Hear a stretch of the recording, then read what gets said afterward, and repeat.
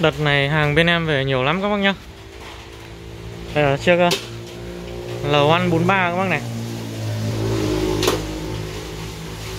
Xe này có gầu xúc.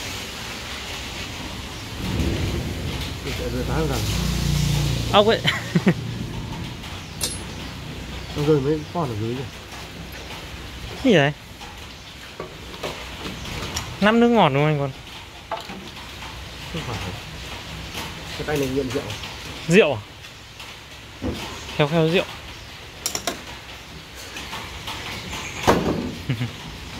À, Xe vừa về các anh nhá. Chưa dọn gì cả. Đây Bên em đang ờ, lắp nốt cái rẻ Bên Nhật nó không làm rơi vàng hay là tiền. Rơi nó tìm bằng được. Không cần nhỉ?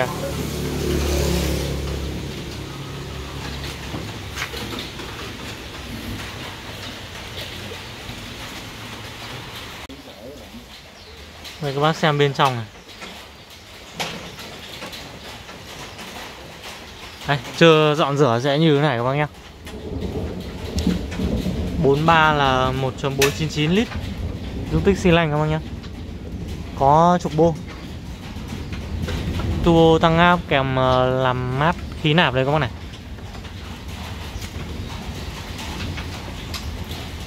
Anh con dỉn ga đấy Dỉn dỉn. Ờ. Gớm nhỉ Đấy các bác ờ, nghe tiếng động cơ đấy nhá.